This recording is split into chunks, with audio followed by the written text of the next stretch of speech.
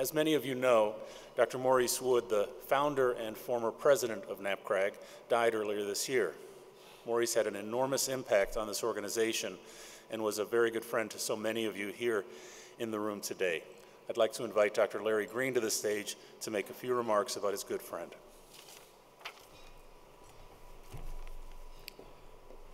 What a privilege to uh, get to make some comments about Maurice Wood. Uh, going to do this in two parts, bit of biography, and then I'm just going to mouth off just a little bit. Uh, the biographical part, how many of you know where Morris Wood was born? Well, a, couple of people do. So he was uh, born June 28, 1922, in Pelton, County Durham, England. He died at his home in Wintergreen, Virginia last, last March at 93 years of age. Maurice was educated at Newcastle University in England and graduated from medical school in 1945. How many of you were alive? Not very many, but some. Uh, he served uh, as major in the Royal Army Medical Corps from 1945 to 1949 and was chief embarkation officer in Egypt. He returned to England as, uh, to do a surgical registrar stint, 1949 to 1950. Did you hear that? Surgical, surgical registrar, at the uh, Sunderland Royal Infirmary in County Durham. From 1950 to 1971, Morris practiced general practice in South Shields, Tyne and Wear, England. In 1959, he formed a group practice with five other GPs, and he became a teaching practice, and he developed and implemented a nurse practitioner concept, all three of which were totally radical, unbelievable innovations in the National Health Service as it was emerging. In 1969, he visited Canada and the United States, presenting practice innovations, nurse practitioners, and age sex registries, practice registries uh, and in 1971, he did a sabbatical at uh, Virginia Commonwealth University, and then he went back to England, wrapped up his practice, and emigrated to join the faculty at VCU. Thank goodness for immigrants.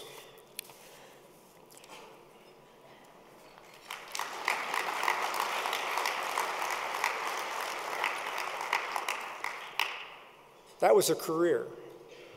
Then there was another one. The North American career spanned some 45 years, and it focused on research development. With David Marsland sitting here and Hugh Mayo, he quantified for the first time the content of family practice in the United States. This is famously known as the Virginia Study published in the Journal of Family Practice. In 1972, with uh, perhaps 30 to about 30 to 40 of the founders of family medicine in the US and Canada, uh, they met in Newport News and they decided to create a research group and they had low aspirations. They decided to name it the North American Primary Care Research Group. And he agreed to serve as its first president. He was president from 1972 to 1983. Jen, Jen DeVoe is the 18th uh, NAPCRG president. Uh, Maurice touched and motivated much, if not most, of the early development of family medicine and primary care research in both Canada and the U.S., and he was among the first family physicians to be elected to the National Academy of Sciences Institute of Medicine, now known as the National Academy of Medicine. I'd like to make a few brief comments. I was 28 years old when I met, uh, attended my first NAPCRG, and I met Morris. He tolerated me. Uh, my youth, my inexperience, and he actually became my friend, mentored me as if I were his equal. Uh, like many of you, I relish many memories of Morris, and some captured in uh, that slide. Uh, examples. Uh, I re remember sharing many good meals with good wine and fabulous conversation and debate about the proper, the proper database for primary care and the ordering principles of primary care, both of which remain unsettled, of course. Uh, I remember joining him for Aida at the Metropolitan Opera and also for Motown on Broadway. Uh, accompanying him to Johns Hopkins University uh, to attend the celebration of the life and work of his friend and colleague Barbara Starfield. And so importantly, his finding $1,400, not 14,000, not $14 million, $1,400 in the very sparse NAPCRG budget to make the very first cash contribution to the development of this country's first national practice-based research network. Morris would be uh, very unhappy with me and you uh, with any tribute that did not acknowledge his own gratitude to Erica, his wife, and his family, represented here uh, today by uh, Michael and Catherine Wood. Michael is sitting here. Catherine is sitting out there next to Nick Booth, one of Morris's friends. And he would also, I think, be very pleased to acknowledge his special friends, Kerr White and Hank Lamberts, with whom he did much. He would especially want me and you to acknowledge his home department of family medicine at Virginia Commonwealth University, now chaired by Tony Kuzel, who's sitting right there, uh, for their, they provided him with critical colleagues, supportive environment, and institutional support for his whole U.S. career. He spoke of it often. He was extremely grateful. So now as we uh, uh, watch a video uh, tribute to Morris, let me conclude as we past presidents of NAPCRG ended the celebration we published uh, concerning Morris in the Annals of Family Medicine a few months ago, adapting the words of songwriter Dan Fogelberg. The leader of the band is tired. His eyes are growing old, but his blood runs through our instruments, and his song is in our souls. Our lives have been a poor attempt to imitate this man. You, me, we, we're just living legacies to the leader of the band. This, we're talking today with Maurice Wood, who I, I know that you're considered a father or a guru if you would, of the department. So let's begin.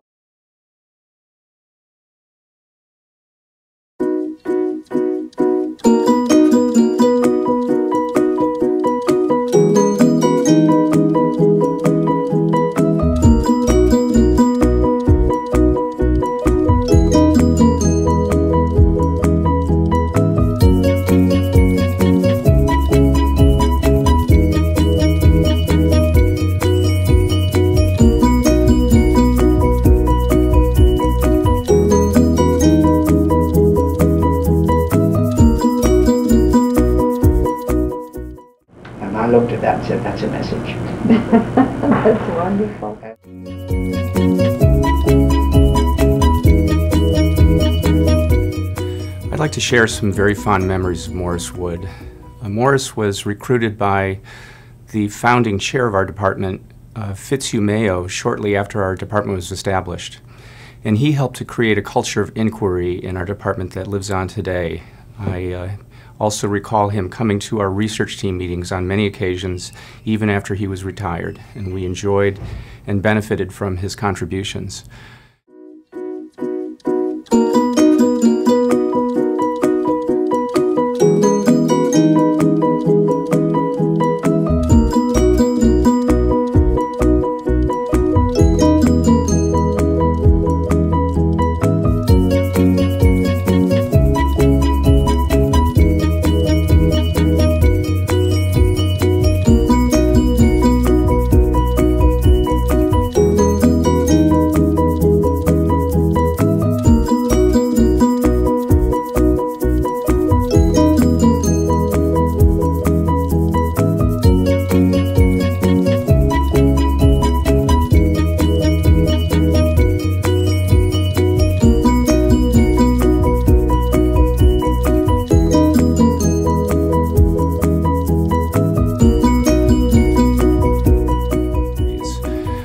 The other fond memories I have is uh, many NAPCRG meetings, Morris would join our VCU team for dinner, uh, sometimes with his daughter, and he was a very lively table mate. Uh, the other place that he was clearly lively was on the dance floor uh, at NAPCRG meetings. Uh, I was out there too, but usually I went to bed before Morris did.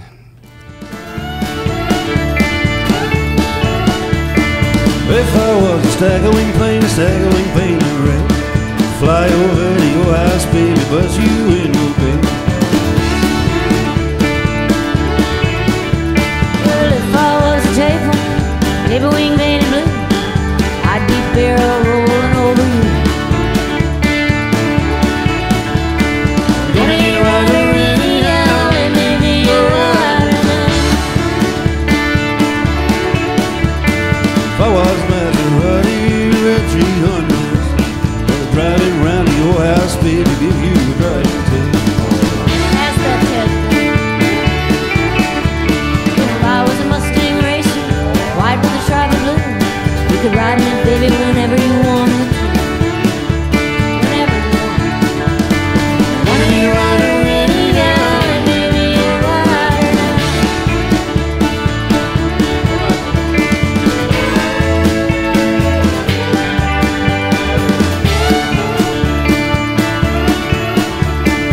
was a Fender guitar,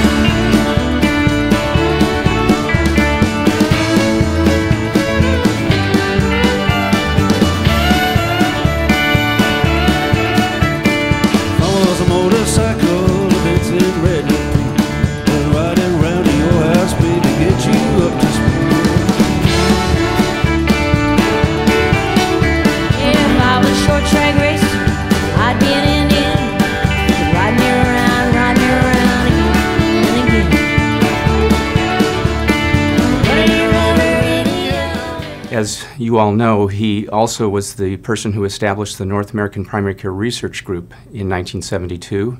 That first meeting was hosted by the Riverside Hospital System, which was the site of our very first family medicine residency program. And our department was the administrative home for NAPCRG until 1995. Very proud to uh, have been part of Morris's dream and that uh, his dream lives on in such significant ways. Uh, he was a very good friend and we'll be missing him greatly. Thank you.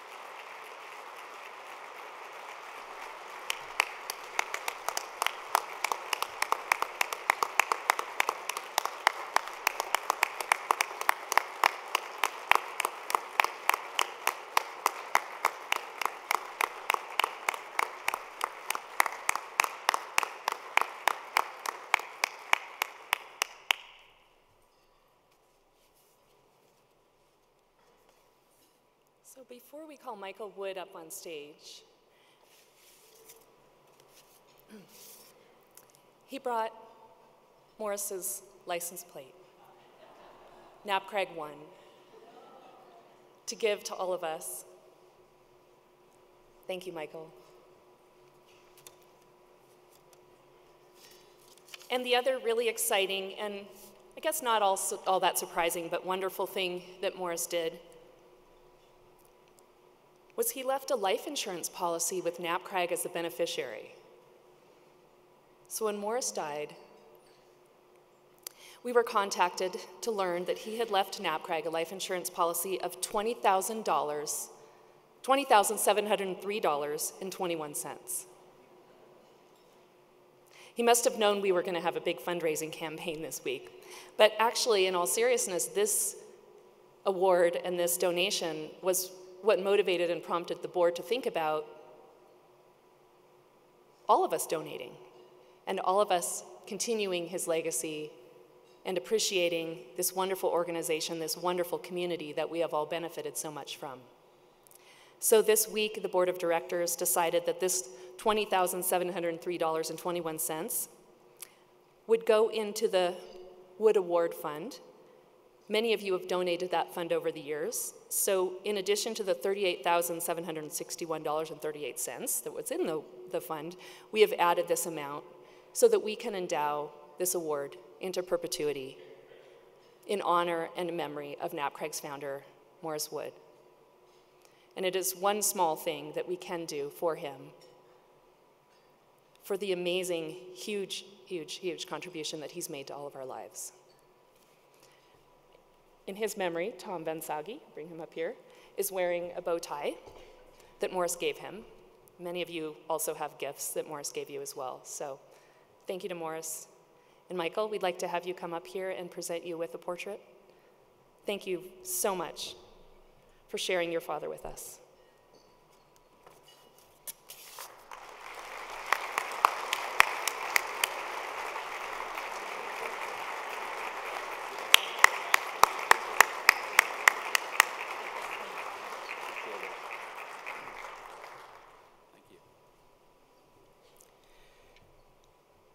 Difficult.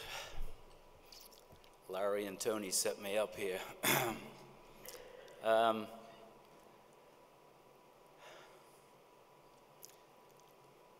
I, I think my father would have been extremely humbled by that tribute. Um,